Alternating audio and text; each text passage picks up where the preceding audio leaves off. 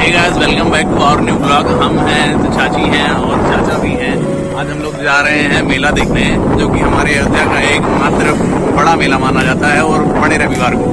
चलिए देखते हैं। खा खा चला चला और बढ़ता गया। तुम्हारी राह में साथ सांस लेता गया। हमारे साइड में जो कुत्ते हैं और चाचा भी हैं जो कि एक साथ ही लोग के साथ में जा रहे हैं गाइस मेले की शुरुआत यहीं से मानी जाती है। जो ये मेला है हम लोग के साइड का, मेले की शुरुआत यहीं से मानी जाती है और यहीं से आप भीड़ देख सकते हैं किस तरह की भीड़ उमड़ी है यहाँ पे।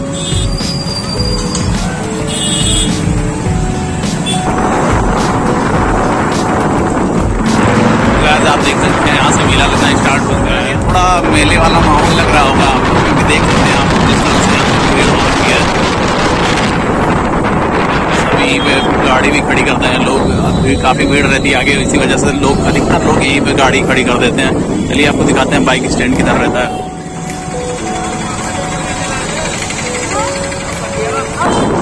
आप लोग यहाँ भीड़ देख सकते हैं कितनी ज़्यादा हो रखी है। ये तो अभी शुरुआत है, अभी मेले में चलिए फिर देखते हैं कितनी भीड़ होती है। अभी तो ये मेले की शुरुआत भी नहीं हुई है सही से। गैस हम हैं, चाची हैं और भी रिंका है जो मेरे बगल, घर के बगल में रहती है। और भी दो लड़के हैं। और भी दो लड़के हैं जो कि चुन्नू और उर्री हैं। देख सकते हैं आप लोग। चलिए दिखाते हैं और आपका आगे का नज़ारा। गैस मेले का असली स्वाद अभी यहाँ से देखने को मिलेगा।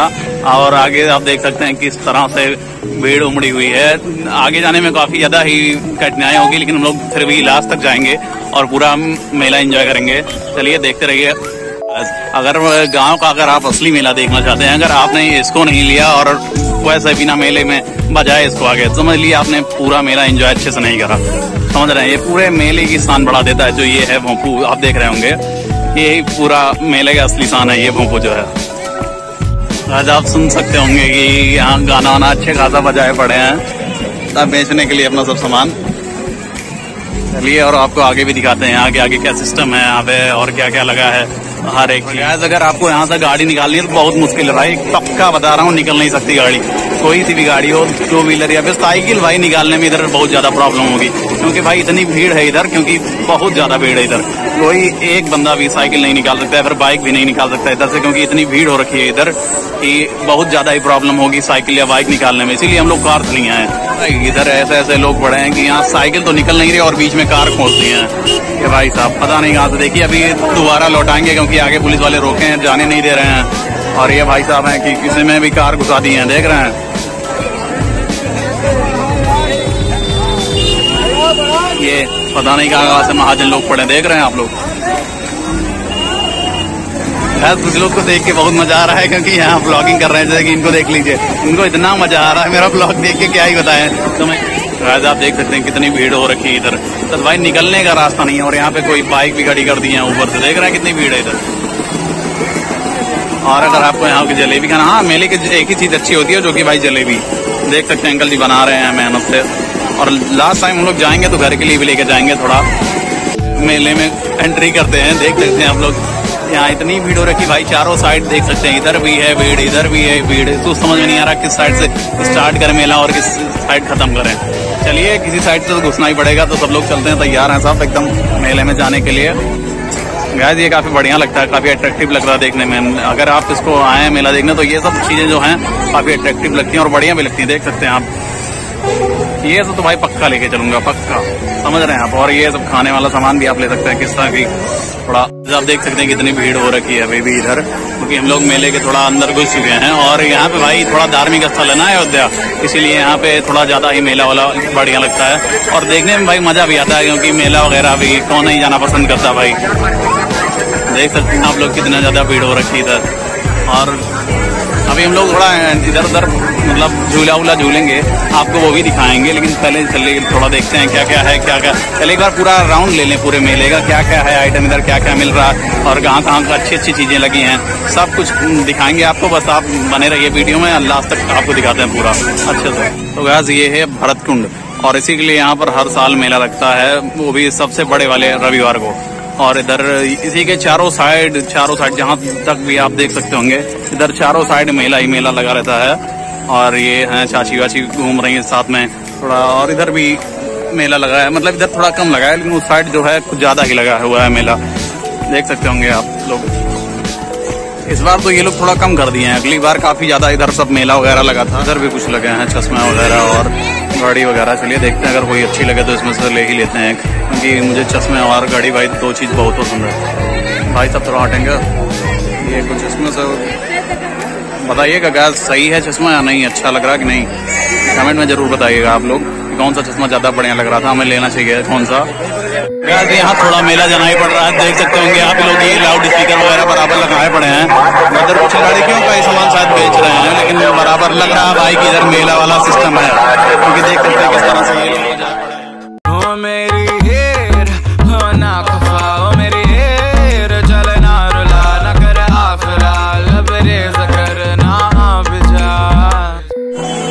एकदम से घूमते घूमते बैंड बज चुकी है तो कुछ खाना पड़ेगा, नहीं तो भाई एनर्जी पूरी लॉस हो जा रही है। चलिए कुछ खाते हैं, नहीं तो ऐसे ही भाई घूमते कब तक रहेंगे। चलिए आइए, कुछ खाते पीते हैं, देखते हैं क्या खाएँगे। गैस चलिए खाते हैं फाइनली फुल्की क्योंकि भाई बहुत तेज़ी से भूख लग रही है और यहाँ पर दौड़ते दौड़ते पूरी बैंड बज चुकी है। भैया फुल्की दे दीजिए। भैया जी, हमें फुल्की देने जा रहे हैं। भैया मीठी चटनी ज़रूर डालिएगा। भैया जी मीठी चटनी ज़रूर ज़रूर डालिएगा।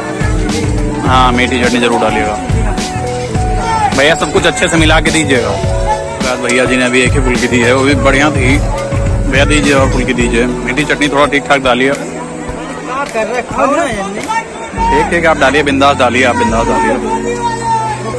गैस मैंने ये दो सामान एक भाई के लिए लिया है, संतोष भैया के लिए, और एक ये जो छड़िया दिख रही है कार में लगाने के लिए लिया है। क्योंकि इस समय कार बहुत ज़्यादा सुन सुन लग रही थी, क्योंकि उसमें कुछ था नहीं कार में इसमें जो कुछ भी था तो टूट चुका है तो इसलिए हमने ये दो चीज़ लिया है। और भी लिया कुछ घर वालों के लिए भी लिया, बच्ची के लिए भी लिया है।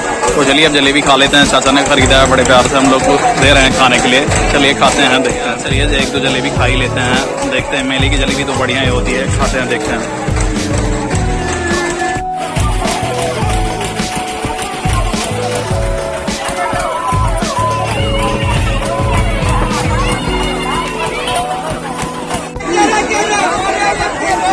तो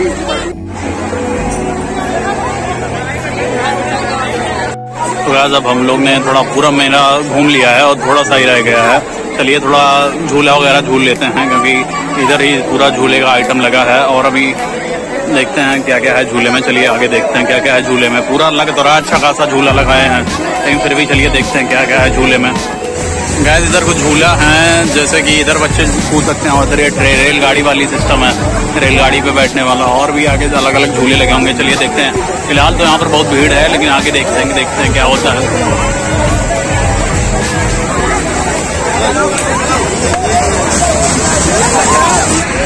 यार जो ये रिंकी है ना, कह रही है, मुझे बड़ा वाला झूला झूलने के लिए भाई, लेकिन मैं नहीं झूलने वाला, जो ये सामने खड़ी है लड़की, ये इससे कह रही है, बड़ा वाला झूलने झूलने के लिए भाई, मैं तो पक्का नहीं जाऊँगा, भाई, उसने एक बार गया था मैं झूलने, भाई उसमें उल्टी हो गई थी, इसीलिए भाई, दोबारा तो पक्का नहीं जाऊँगा इस झूले में, पक्का बता रहा भाई। भाई, ये तो झूलने के लिए इतना ज़्यादा एक्साइटेड है, मुझे भी कह रही है, चलो भैया, झूलने, चलो चलो चलो भैया, इस पे बैठने के लिए ज़रूर कह रही है, लेकिन चलिए देखते हैं, शायद जाए हम लोग झूले झूलने के लिए। गाइस, इधर पहले से ही बहुत ज़्यादा भीड़ है तो हम लोग किस साइड से जाए, पता नहीं है, देखते हैं, इतना भीड़ पहले से ही लगा रखे हैं। भाई, कब आएगा नंबर? देख रहे हैं आप लोग अभी इतना लोग इधर भी खड़े हैं। अभी झूला स्टार्ट भी नहीं होगा भाई, बहुत टाइम लग जाएगा। यार इसमें चलिए देखते हैं क्या होता है, चलते हैं नहीं फाइनली हम उस झूले पे नहीं जा रहे हैं, क्योंकि भाई बहुत ज़्यादा टिकट ले रहा हो, उसके बाद बहुत ज़्यादा रुपया ले रहा हो अकेले जाने का भाई जरा तो मूड नहीं है, और हम तो चार चले ही जाते, लेकिन चाचा कह रहे हैं, नहीं, देख सकते हैं किस तरह से भीड़ हो रखी है इधर मेले के साइड क्योंकि इधर झूला वाला है तो जितने भी लड़के, लड़कियाँ इधर सब आए हैं, सब झूला ही झूलने के लिए आए हैं। हम लोग भी झूले का ही वेट कर रहे हैं, कोई भी सा भी मिल जाए झूलने के लिए।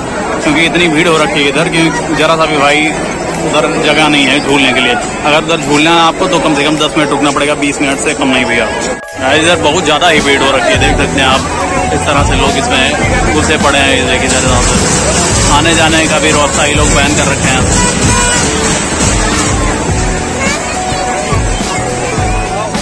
आके एक अंकल जी लग रहे हैं, जो कि पुलिस वाले हैं। डबल स्टार वाले दरोगा मतलब कह सकते हैं। एक दिन हमारे भी ऊपर भाई ऐसे ही चढ़ेगा। बिल्कुल ऐसी तरह से। बस थोड़ा कंसनट्रेट और बराबर लगे रहे, मेहनत करते रहते होएगा क्या नहीं ब्रो चलिए, आपको दिखाते हैं किस तरह की भीड़ हो रखी है इधर। और ये यहाँ कुछ लोग स्नान भी कर रहे हैं। और भी सिस्टम हो रखा है इधर, देख सकते हैं। ऐसा कि ये, क्योंकि गेट के सामने का एरिया है। इधर सब लोग हैं, विश्राम कर रहे हैं और भी वगैरह वगैरह जो कुछ मन्नतें मांगते हैं। सब इधर ही हो रखा है इन लोग की वजह से। और वो एक नाव चल रही है, क्योंकि अगर जान कोई नहाते वहाते डूब गया तो वो उन लोग की हेल्प करने के लिए बस रखा गया है। और इधर कुछ लोग नहा भी रहे हैं, जैसे आप किनारे में देख सकते हैं। हम टोटल लगभग चार पाँच लोग जने आए थे। जैसे दो चाचा जी, ये लड्डू, चन्नू हैं और उधर चाची भी हैं, उधर घूम रही हैं थोड़ा किनारे पे देख सकते होंगे घूमते घूमते दिमाग खराब रखा है। आप लोग देख सकते होंगे किस तरह से पसीना हो रखा है और इसीलिए अब हम लोग ज़्यादा ना घूमते हुए अब चलने वाले हैं घर, क्योंकि बहुत ज़्यादा ही घूम चुके हैं हम लोग। चलिए, देखते हैं। चाची वाची पूछें, अगर चलना होगा तो बताएँगे ही। वैसे चलिए, थोड़ा बर्गर खा लेते हैं, क्योंकि अभी थोड़ा और भी भूख लगा पड़ा है। और वैसे भी मेले में है तो कुछ ना कुछ तो अच्छा खा के ही जाए। चलिए बर्गर बना रहे हैं भैया। बना रहे हैं बर्गर चलिए देखते हैं कैसे बनाते हैं, बढ़िया बनाते हैं, किस तरह का बनाते हैं। तो डाल रहे हैं अपना आइटम भैया, बढ़िया बढ़िया सब चीज़ डालिएगा।